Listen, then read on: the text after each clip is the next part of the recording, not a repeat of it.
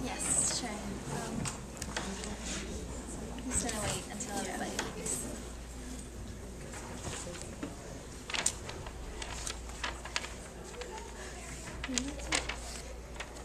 Well, good afternoon, everybody. First of all, thank you for being out here, even if you're presenting. um, my name is Melanie Valencia. I'm a chemistry major with concentration in environmental chemistry and double minor in psychology and biology. And I'm Alex Bidell. I'm an English major in the pre-med program and I'm a sophomore. And we went to Kenya. Yes, we went to Kenya with Dr. Snow. And um, when I got back here, everybody was asking me, so how was it?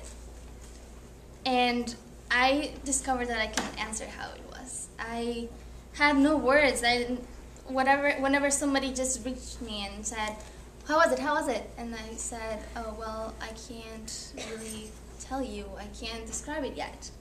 Um, and then after thinking and after being with the group, I've discovered something that I want to portray, and that starts with me being a little child and deciding, hey, I want to be a doctor and I want to help children and I want to someday go to Africa and be training other doctors that need more training than they actually have access to. Um, when I came here to the, well, I'm from Ecuador, I should have stated that first. I'm from Ecuador and I came here and um, I discovered, well, we have to go through college and all these things, and I was disappointed that uh, we couldn't do anything. I felt like I felt like, well, now I have to study so much, and I understand that I have to study so much in order to get into medical school and in order to be a good physician. But I thought, and I always had in my heart, well, I'm sure we can do something, at least a little bit. And then I crossed through the class and knew about the class. So we were there, and I remember the second night that we were there, and I was thinking about the centers that we had visited the day before. The two centers were Gataca and Cuare, which are four miles away, around four miles away. is four miles away from the um, family we stayed with, and yes. is like a 10 minute walk. Yes. So I was thinking about those children, and I was thinking about Gataca not sometimes not being able to access to have access to water, and that was the only reason why these almost 200 children that come to eat cannot have access to the food because sometimes there is no water available. So I couldn't sleep that night thinking about the water. And um, hey, we had the resources to get them water. Hey, there was the need. So let's put those together.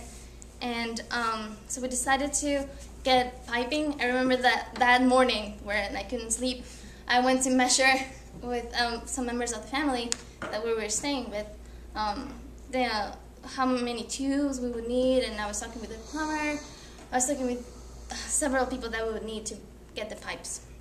Talking with everybody, we decided yes, the pipes are happening. And after we come, we came back actually a few weeks ago, we found out that the pipes the pipes were there, and now and there were tears in that the second they had water out of the one faucet. And um, I always keep on remembering that. Hey, how do I connect this to people complaining in the dining hall that they cannot have a big plate of any sort of meal that I don't really understand what they want. So now I am. That's that's what I say to people who ask me about Kenya. It's the opportunity to actually do something, to use your resources, to use your intelligence, to use um, to understand the actual need of poverty. Talking with Dr. Snow, I remember. So why did you decide to bring students here? And he would tell me, well, I would be in class talking about poverty and telling them how telling my students how many children are dying every day because they don't have access to food. But I really never thought that that idea actually crossed their mind and they actually absorb it. So seeing that is absolutely different. And um, coming back here, it was so motivating to start doing more things. We have done, we, I don't know if anybody came, we went to we did a carnival for Kenya. We, we raised money. We made another salsa night to raise more money, and we're actually helping these these women in um, an AIDS refugee who are having bags. They're sewing bags and they're selling them, and that's how they get their food. And we're buying some of the bags and bringing them next semester. So please come out and buy them. and um, it's just too much. I I still cannot describe everything that I feel about Kenya, but that's as far as I can.